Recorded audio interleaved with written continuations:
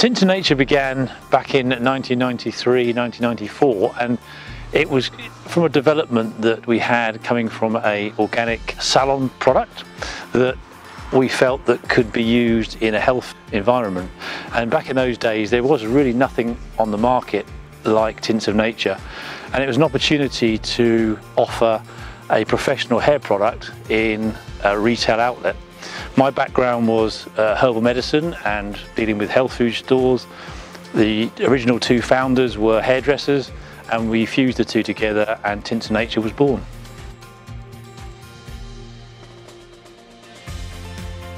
Well, first of all, we have to acknowledge that that is the assumption, uh, certainly was the assumption when we first launched. But we've now been doing this nearly 30 years and the product stands on its own two feet. It performs every day around the world. Hundreds of thousands of uh, ladies are using it and it performs at a level which some would say is salon performance. We test every single batch in our factory, in our QC lab. Every single batch is tested on 85% grey hair and it works. So I would always say give it a go um, and you'll find out the results are fantastic.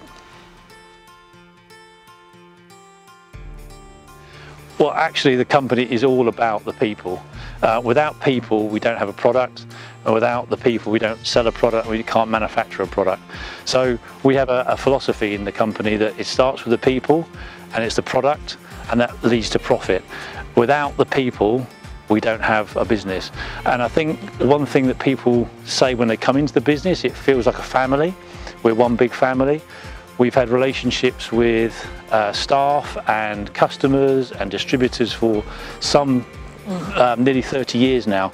Uh, and I think that stands testament to the, the environment that we try to create, the fact that people believe in what we're doing. It's not always an easy road. Sometimes we have to do things and we have to um, you know, make some difficult decisions. And certainly over the current scenario, we've had to um, really come together and really build as a family this spirit and uh, energy that keeps us going. But I think the one thing that's overriding is, is a feeling that we are doing the right thing. We're doing the right thing for the planet, we're doing the right thing for our people, and ultimately we're doing the right thing for the customer.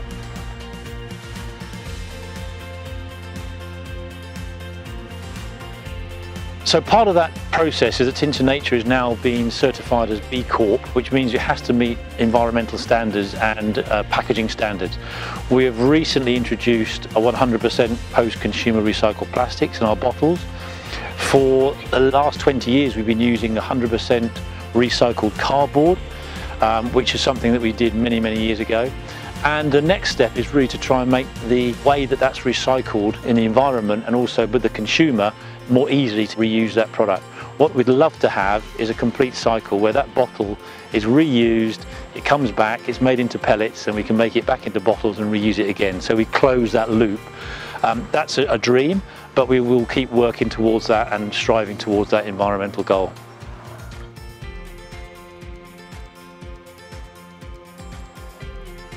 So what we're doing by using those raw materials is not only benefiting the client, the customer, from the health point of view of how they use the product, but also we're benefiting the farmer, we're benefiting the land, and ultimately we're benefiting us all because the planet needs help. So it drives a behaviour change, and I think that's a really important thing to remember that organic certification is a standard that everyone has to meet. Anyone can say they're organic, but if you have a certificate that's authenticated, then that really gives you confidence that the product's been used properly.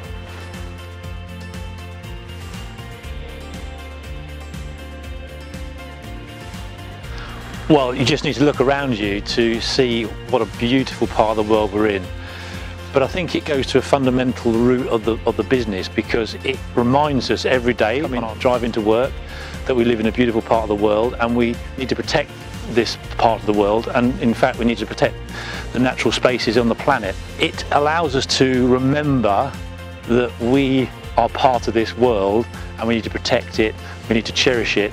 And also, um, I think you can see behind me, those amazing autumn colours.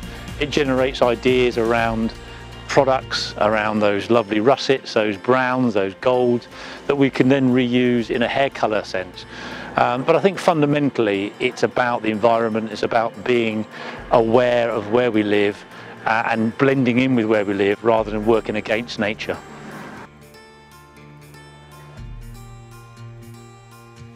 So to sum up Tints Nature in three words, I would say performance, the planet and sustainability.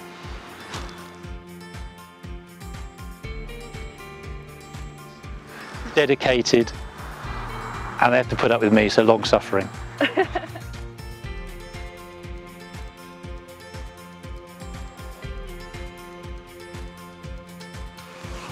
Actually, it's quite humbling, immense amount of pride um, with what we've achieved as a team but it is humbling and when you meet people who've used the product who literally say they can't use hair colour because they react so badly to traditional hair colours and they say that they've been saved by this product and it sounds strange genuinely if someone uh, has a serious allergy or irritation to a hair colour and they can't colour their hair and they're going grey maybe at a young age that is a huge thing so it's an overwhelming sense of pride um, but thankfulness that we have this ability to do it. And looking back at the early days, did we ever think we'd be here? No, we just wanted to make a product that was better for people and better for the planet. Um, but now being sold all over the world, it is immensely um, satisfying and, and I'm very thankful.